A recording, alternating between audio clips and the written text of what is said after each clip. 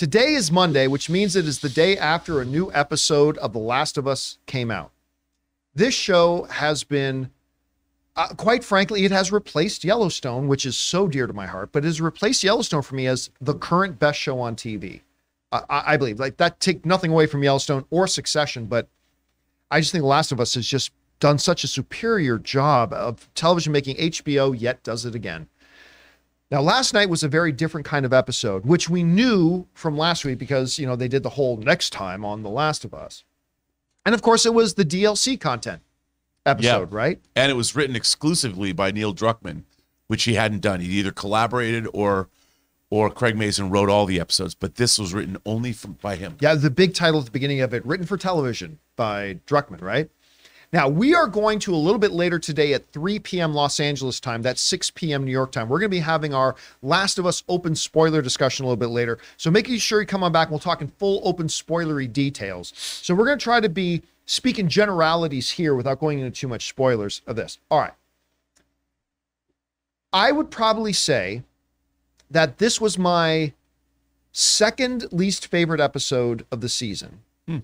Understanding, of course, that that still makes it for me, even though I don't give numerical scores, like an 8.5 out of 10 for me, maybe even a 9 out of 10 for me. Like was because I'll tell you what, what they did with the flashback here, everything about The Last of Us, the series, has been about characters. It's all been about characters and world building and character building. And that is what has made the narrative so rich. And they made a decision to do this DLC content, this kind of flashback episode, if you will, with only one purpose in mind help us have a better understanding of Ellie. Her mindset, her motivations, what is making her do what we have seen her done do, and what we're going to see her do moving forward. And because when we meet this little girl chained into a room that the Fireflies had, we know she's snarky, she's quick witted, she's smart, but I believe coming out of this episode, which by the way, you know, they said in the after show about it, it's like we had to find an actress to play. What was the character that Storm Reed played? Riley. Riley, right. They said to find someone to play Riley, for the emotional weight of this to work, you got to find somebody who can go toe to toe with Bella Ramsey. And that is not a small task. So who they find? Reed. And boy, she delivered. She was great. She delivered. I, the moment she shows up in this bedroom, in this scene, I instantly believed the connection and the bond.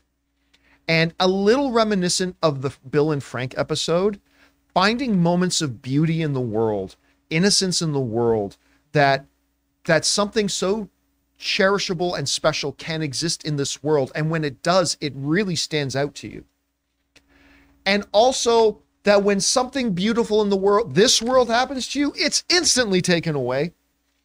Um, I mean, I I just found this to be, while not my favorite episode of the season, by the time it was done, I still sat on my couch afterwards for a bit, just contemplating the episode and going back more into the character building of Ellie. And and and and, and you know what? It made me go back to the previous episode as well when she's really freaking pissed. Like there is no understanding about, hey, I think my brother Tommy could be a better fit for taking now we get it a little bit more. Again, we're not going to go into details. We'll do that a little bit later.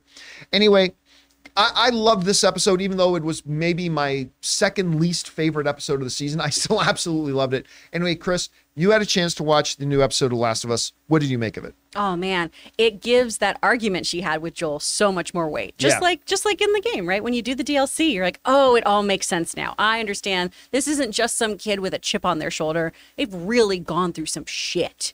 And this does that so well. I love how they juxtapose the present and the past in this episode too. I think they did that really masterfully. This is a really big music episode. I don't know if you've gotten to watch it yet, Jonathan. No, I'm, behind. Oh, this is I'm a- left behind. So well done. Well I gotta done. catch up. This is a really music heavy episode, so I'm really interested to hear your thoughts in it that again tie directly into the games. And I think they're going to have a really lovely emotional payoff moving forward in the series as well. There's just a lot to unpack in this one, and I'm really excited to talk about it later. You know, one of the things I really loved about this episode, again, speaking in generalities, there's a scene where we saw a little glimpse of it before where she's talking to like her in the flash of her Fedra commander. Yeah, that's I love that scene. There's Claudia, I think her name is Claudia Gray, did a Star Wars novel called Lost Stars. I think that was the name of the Star Wars novel.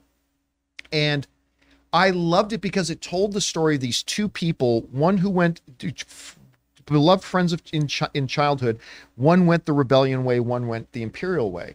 And that novel did a great job of painting a picture for us, well, like why some people and why some good people would end up in the empire. Why some good, well-meaning people end up in the empire. And there's a scene in this show, again, we won't go into the details of their conversation, where we meet a Fedra commander who's just kind of like, listen, we do this because if we weren't here, these people would starve or kill each other. Like, and they they kind of humanize Fedra. And his conversation and his words don't ring hollow because we just left Kansas, where suddenly Fedra wasn't there. And guess what? Things got worse.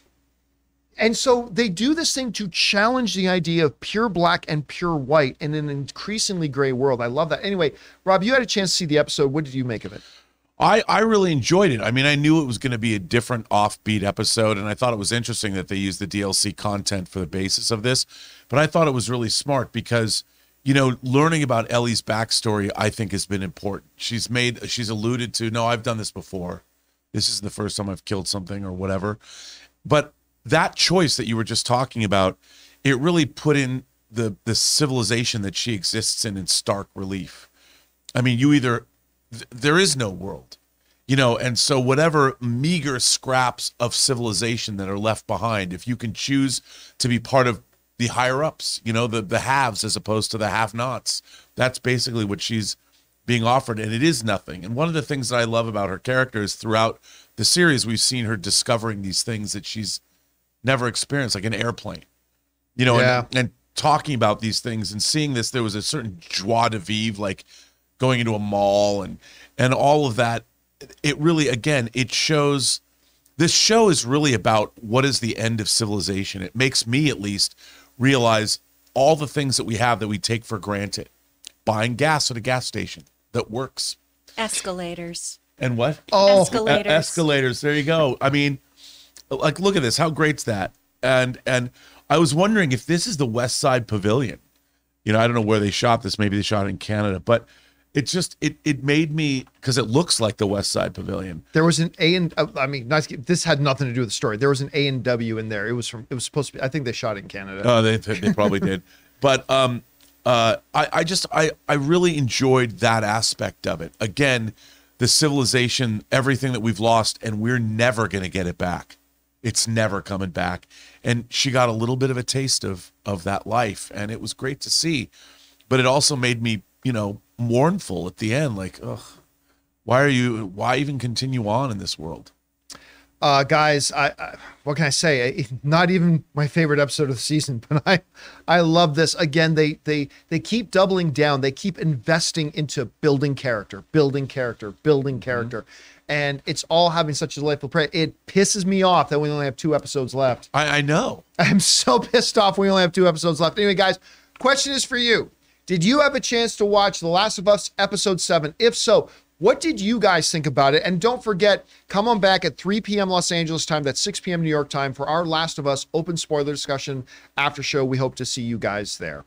We want to take a second to thank a sponsor of this video, Mint Mobile. If saving more and spending less is one of your top goals for 2023, why are you still paying insane amounts of money every month for your phone bill? Switching to Mint Mobile is the easiest way to save this year. As the first company to sell premium wireless service online only, Mint Mobile lets you order from home and save a ton with phone plans starting at just 15 bucks a month. You guys know I made the switch over to Mint Mobile a while ago. The process couldn't have been easier, and I can't believe that I am spending less than a third of what I was spending on one of the other major carriers before. By going online only and eliminating the traditional costs of retail, Mint Mobile passes the significant savings on to you. All plans come with unlimited talk, text, and high speed data delivered on the nation's largest 5G network. Use your own phone with any Mint Mobile plan and switch easily in minutes with eSIM. To get your new wireless plan for just 15 bucks a month and get the plan shipped to your door free, go to mintmobile.com mintmobile.com slash Campea. That's mintmobile.com slash Campea. Cut your wireless bill to 15 bucks a month at mintmobile.com slash Campea.